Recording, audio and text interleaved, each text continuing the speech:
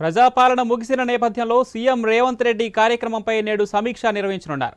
ఉదయం పదకొండు గంటలకు సీఎం అధ్యక్షతన జరగనున్న సమావేశంలో మంత్రులు పాల్గొననున్నారు. ప్రజలు ఎక్కువగా ఏ పథకం కోసం దరఖాస్తు చేసుకున్నారు వాటి అమలు లబ్ధిదారుల ఎంపిక ప్రక్రియ తదితరులపై చర్చించనున్నారు. ప్రభుత్వ నెల రోజుల పాలన ప్రతిపక్షాల ఆరోపణలపై ప్రతిదాడికి సంబంధించిన అంశాలను కూడా చర్చించే అవకాశం ఉన్నట్లు తెలుస్తోంది. అయితే ఇది అధికారిక మంత్రివర్గ సమావేశం కాదని అందుబాటులో ఉన్న మంత్రులు ఈ సమావేశానికి హాజరు కావాలని కోరినట్లు తెలుస్తోంది.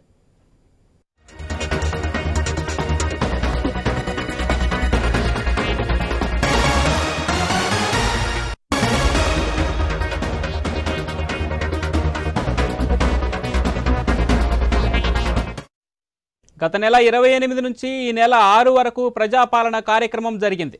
మొత్తం ఎనిమిది రోజుల పాటు జరిగిన ఈ కార్యక్రమంలో కోటి పదకొండు లక్షల కుటుంబాలు దరఖాస్తు చేసుకున్నట్లు అధికారులు తెలిపారు.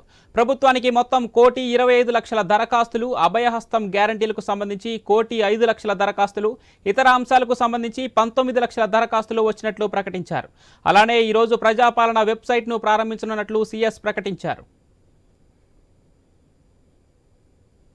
ఇక ఇదే విషయానికి సంబంధించి మరింత సమాచారం మా కరస్పాండెంట్ సునీల్ లైవ్లో అందిస్తారు. ఎస్ సునీల్ డీటెయిల్స్ ఏంటి?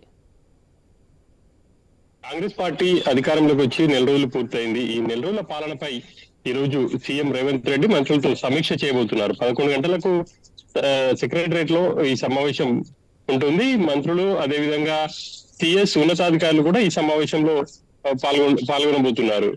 ఆ, కాంగ్రెస్ పార్టీ అధికారంలోకి వచ్చిన తర్వాత రెండు గ్యారంటీ హామీలను అమలు చేస్తా ఉంది. ఇక గత నెల ఇరవై ఎనిమిది నుంచి ఈ నెల ఆరో తేదీ వరకు ప్రజాపాలన దరఖాస్తులను కూడా స్వీకరించారు. పెద్ద ఎత్తున ప్రజలు దరఖాస్తులు అయితే చేసుకున్నారు. ఇందిరమ్మ ఇల్లు కావచ్చు రేషన్ కార్డులు ఆ, రైతు బంధు ఇంకా ఆ, చాలా అంశాలకు సంబంధించి దరఖాస్తులు అయితే వచ్చాయి. ఈ దరఖాస్తులకు సంబంధించి ఆ తర్వాత ఎలాంటి స్టెప్ తీసుకోబోతున్నారు అనేది ఈ రోజు ఈ సమావేశంలో చర్చించబోతున్నట్టుగా కూడా తెలుస్తుంది. ఏ జిల్లాకు సంబంధించి ఎన్ని దరఖాస్తులు వచ్చాయి అనేది ఇప్పటికే అధికారులు అధికారులకైతే ఒక ఫీడ్బ్యాక్ వచ్చింది.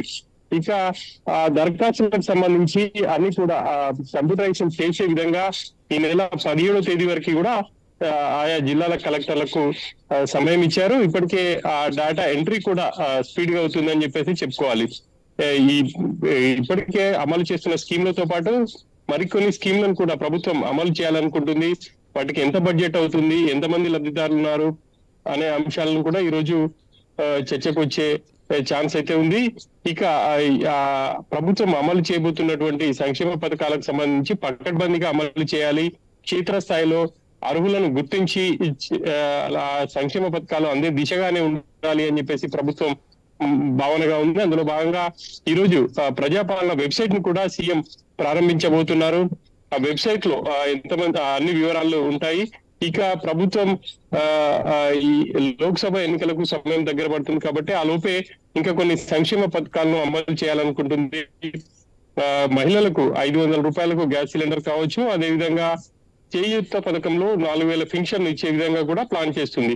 ఇప్పటికే దానికి సంబంధించి డాటా అంతా కూడా ప్రభుత్వం వద్ద ఉంది. ఇక ఎంతమంది అంటే ఇక రాబోయే రోజుల్లో ఎంత ప్రభుత్వం మీద అదనంగా బడ్జెట్ పడుతుంది అనేది ఒకటి లెక్కలు వేసే ఛాన్స్ ఉంటుంది.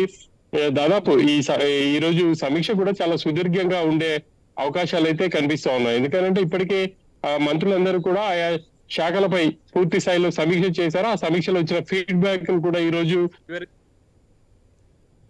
Right thank you Sunil